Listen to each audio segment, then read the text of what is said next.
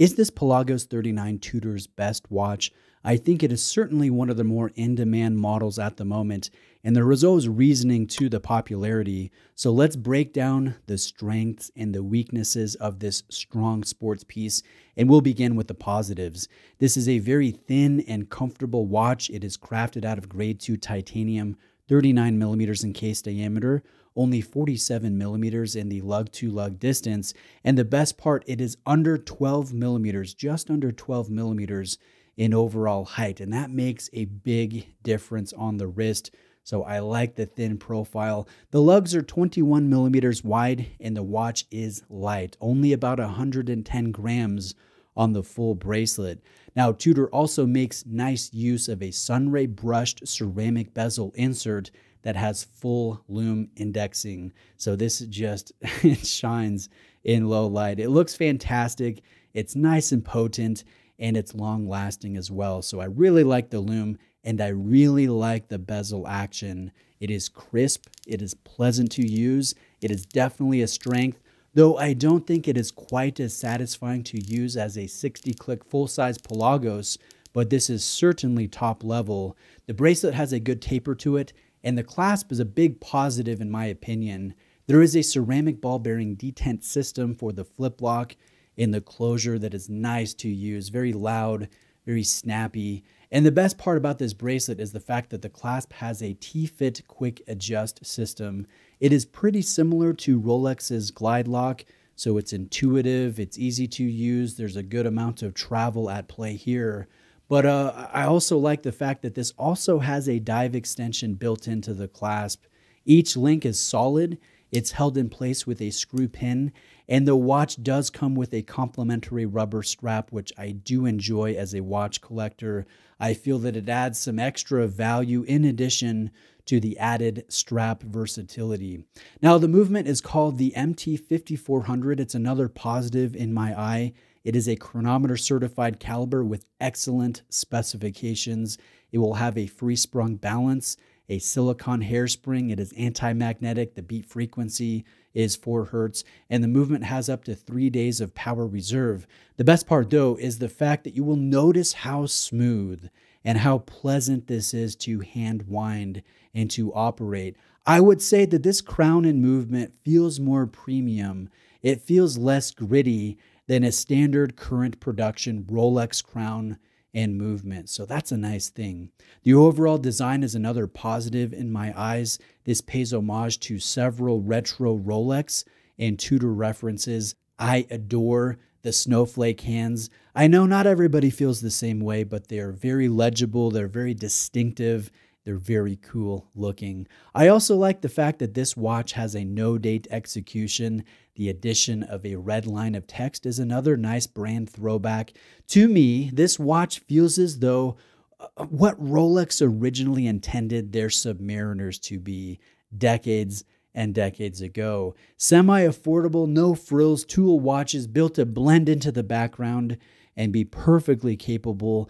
Nowadays, the Rolex Submariner is still highly capable and highly enjoyable, but the crowd who buys them more often than not, they put them in a safe as opposed to getting out there and using it as a tool watch is supposed to be used on an adventure. Not all owners do that. Some owners definitely wear the heck out of their submariners, but I think a lot see a sub as a pure status luxury symbol and not necessarily a tool watch this Pelagos 39 definitely feels like a tool watch like the original Submariners were intended to be used as. Now, here is the best strength, in my opinion. You consider the overall package here, everything the Tudor brings to the table, and then you look at the retail price. This is pretty affordable as far as luxury watches go $4,600 full retail and that is after the recent uh, Tudor retail price increases. And I've talked to a decent amount of watch collectors who expressed to me similar sentiments that I agree with that our money as watch collectors just doesn't seem to go as far these days. I think gone are the days of value rich luxury models. I do think that Tudor really is the last brand in the entry level luxury space the traditional brand that still offers a solid value proposition. And I don't think this will always be the case with Tudor. But as of the time of recording this video, I think consumers really feel like they are getting their money's worth and not overspending when they buy a luxury product like this Tudor Pelagos 39. So, that all being said, is this Tudor's best current offering? Allow me to present a couple other things to consider. I don't feel that this Pelagos 39 is for everyone. With the market trending to smaller and smaller watches, I mean, Tudor just released a 37mm Black Bay to good success.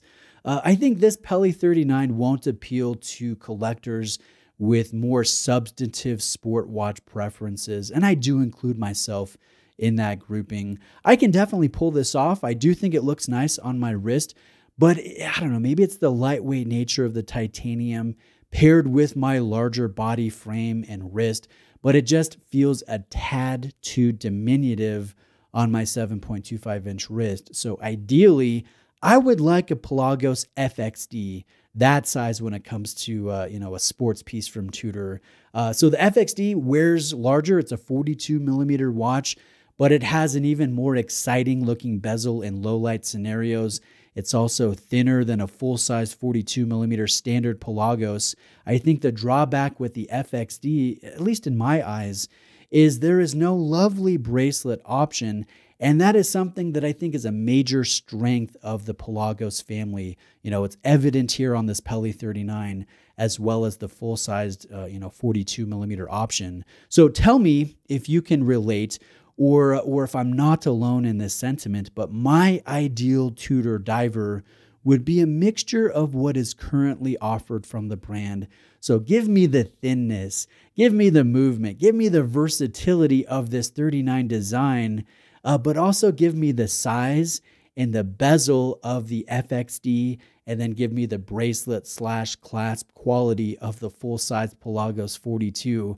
I think that conglomeration of elements would be a fantastic tool watch. Now, another thing to consider that Pelagos has always, you know, they've always been offered only in grade two titanium.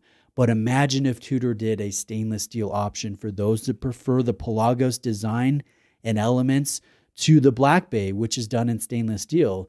And you look at Tudor, they have experimented with ceramic, with silver, with bronze, even with gold in the Black Bay family. And I would love to see that way of thinking uh, just injected into this very compelling Pelagos family that currently is just done in one material. Now, overall, a solid argument uh, could definitely be made that this Pelagos 39 is Tudor's best current watch I don't think you're going to get vehement, you know, arguments in the opposite direction. I think many collectors would agree with that statement, perhaps not a majority, but certainly a significant grouping. And that speaks to the strength of this design and this release. It, it is a very strong model. So, that being said, the question becomes how long will this watch be held in this high regard, this high esteem? What exciting Tudor releases await us collectors in future years? Will we see a return to larger watches? Will we see an expansion of different materials and colors, sizes, and complications? I am looking forward to the future here. Let me know what you think and let me know if you have any questions. Thank you for watching today. Please like this video if you found it helpful. Please subscribe to my channel for more varied horological content. Thank you.